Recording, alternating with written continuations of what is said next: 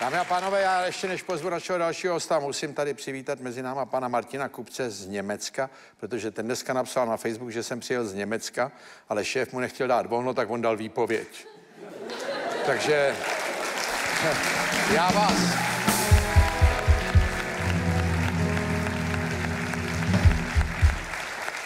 Já vás tady, pane Kupče, vítám a doufám, že vás nesklameme. A v druhé řadě máme nějakou madam z Brazílie, která přijela. Začíná to i mezinárodní publikum, to mě velmi těší.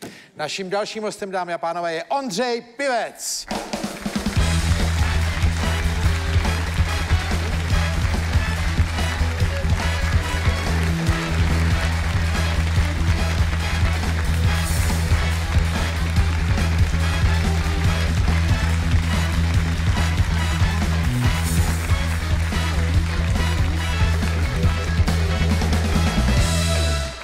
Ondřej Pivec, není to tak dlouho, co získal jako spolutvůrce desky Grammy.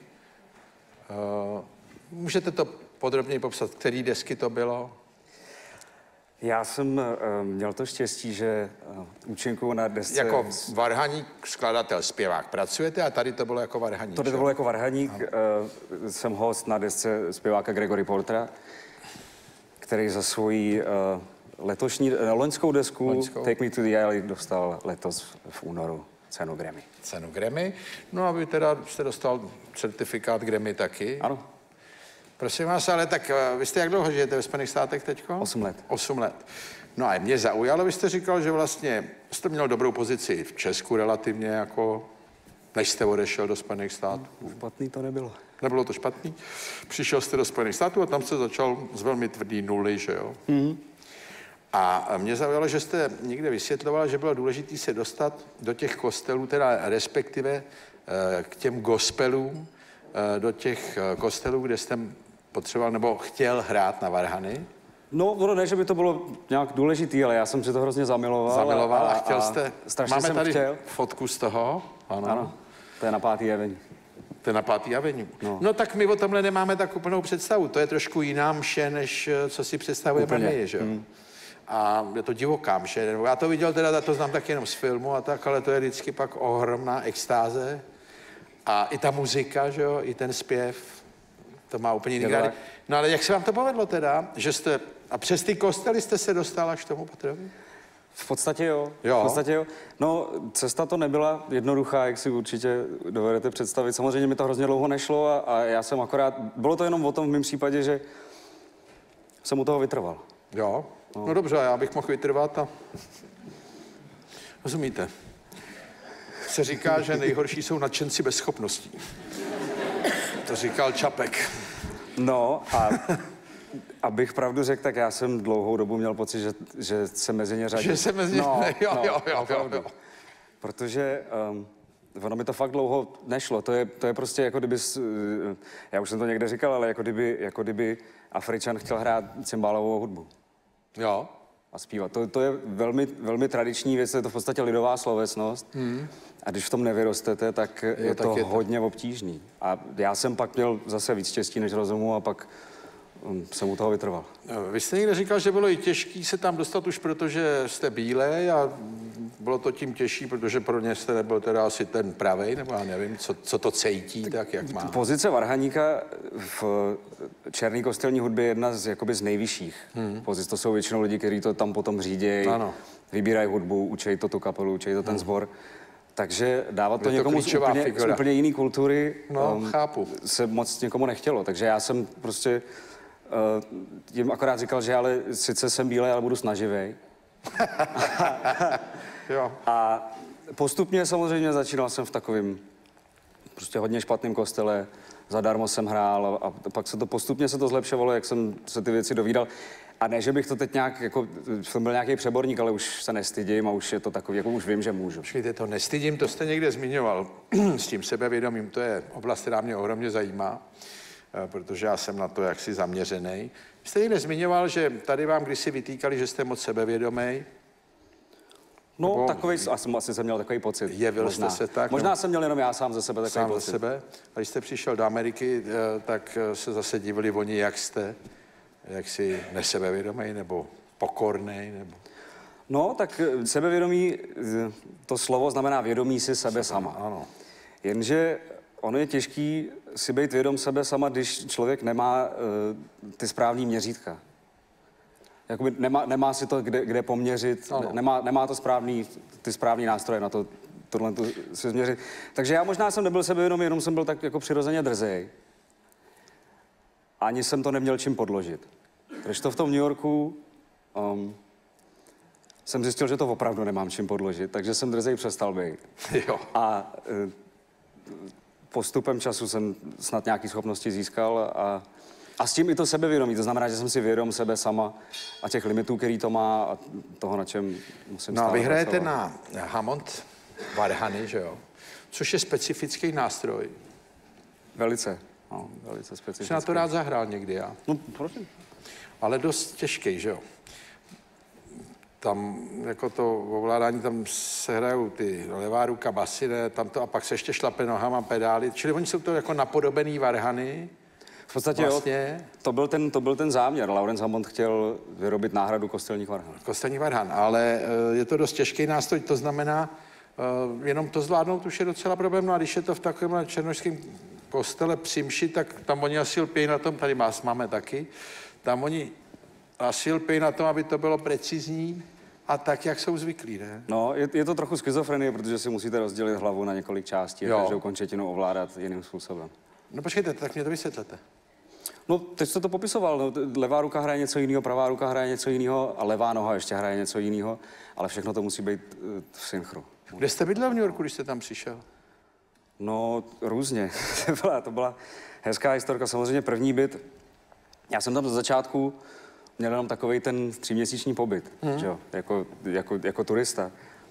A to jsem samozřejmě tomu uh, domovnímu, tomu domácímu zatajil. Takže jsem podepsal smlouvu normálně na 12 měsíců, Jo. s tím, že jsem věděl, že za tři měsíce musím vypadnout. Mm-hmm.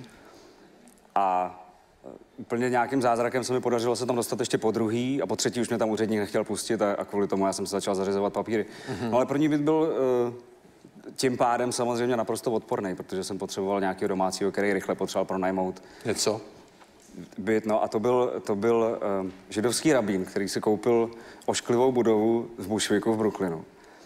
Před, uh, před oknama jsem měl metro, nadzemní metro. Jakože to jezdilo pořád a normálně mi drnčely hrnky uh, v, v kuchyni, no. No a Ondřej, tak eh, kde byl ten zlomový moment, kdy to začalo být takový, jako že to začalo pro vás být zajímavý? Protože to dneska je ohromný, že jste u desky, která stane Grammy a vy tam děláte tři skladby nebo co, že jo? Tak jste takový hrdopíšek už, ne? Trošku. to ne, spíš jsem vděčný za to. Začnej, no ale kdy byl ten zlomový moment, jako? Tam to šlo hrozně postupně, to se jako ne, nezlomilo v jednu Ne. chvíli. A Já jsem... Naprostá náhoda to byla. Já jsem se šel uh, podívat na nějaký koncert do klubu Smalls a plnou náhodou jsem se tam začal na baru bavit s nějakýma klukama a jeden z nich mi říkal, že, že hraje na piano a že každou středu hraje na hamontky v takovém klubu. To, je, to byl klub um, bývalých černošských vojáků. Takže takový domov důchodců v podstatě. Hmm. A oni tam měli hamontky v tom klubu a prostě hráli tady tuhle jazz soulovou muziku a um, tak jsme si nějak vyměnili kontakty a on asi za měsíc mi zavolal ve středu v pět odpoledne, že ho píchla vosa a že se mu teda tím pádem nechce jet hrát ten kšeft, jestli bych jako nemohl. Aha. No a já jsem říkal, Nevěděl, že vy jste poslal vosu. To, to nevěděl, ano. To byla, samozřejmě to byla moje vosa, že jo. A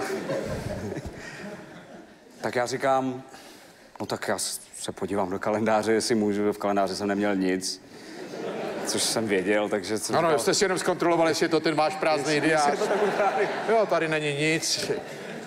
a říkám, Ale jo, to je- by šlo. To, by asi, to bych asi mohl. To snad stihnu. No, okamžitě jsem samozřejmě vyrazil. A, a jel, jel jsem tam, no a, a hraní proběhlo a nějakým zázrakem tam už to bylo, to bylo tak jakoby, už po půl roce, co jsem tam tak zrovna byl, tak nějakým zázrakem už se mi docela vedlo. Jo. A přijel jsem včas a nějak prostě jsem, měl jsem svou jako knížku s různýma jazzovýma standardama, abych když by něco řekli, co chtějí hrát, co neumějí, tak abych, to neumím já, teda oni to umějí, co neumím já, tak abych to zahrál. No a tak oni asi viděli tu snaživost a, a, a to, takže, takže se mi zase teda asi měsíc se mi nevozval, pak se vozval znova, jestli bych zase nemohl na nějaký podobný záskok. Jste se stal jeho oblíbeným záskokářem. Záskokařem, přesně tak. Až teda jednoho dne, asi po dvou měsících, ten, ten lídr té kapely říkal, no a jak seš na tom příští týden? To říkám, já se podívám do diáře. To můžete říct, jak já si podívám do diáře a podívat se z okna. Z okna, no, no. Jo, vypadá to dobře.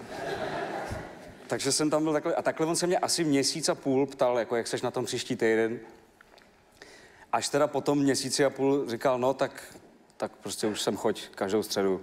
Já řeknu tomu, co tě původně zavolal, ať už nechodí. Takže jsem dostal, to byl můj první, bylo moje první hraní.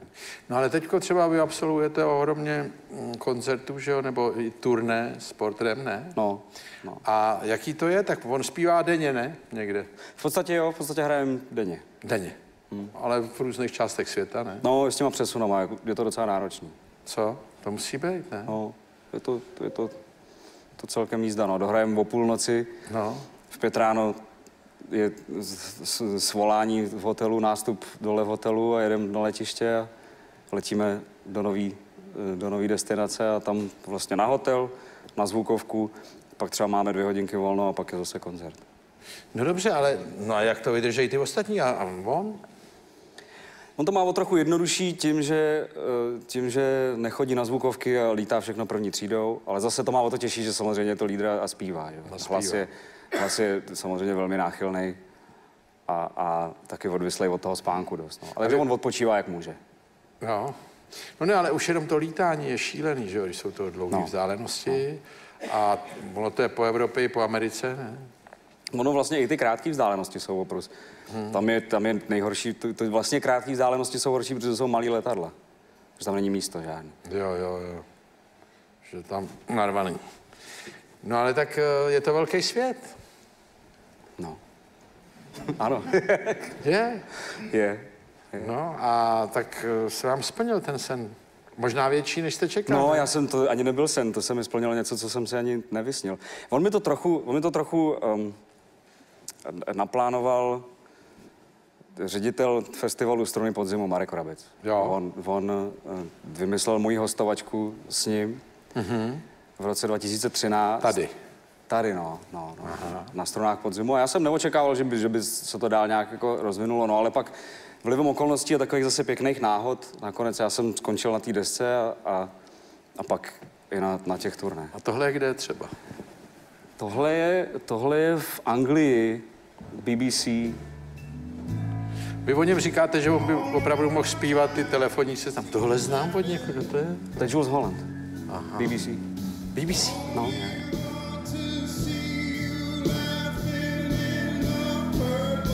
Purple Rain.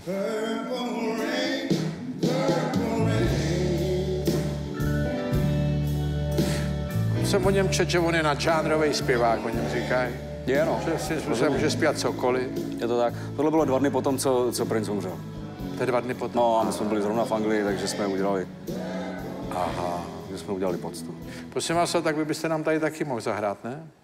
Měl rád? Jo? No jasně. Tak se budeme těšit. Ondřej Pivec.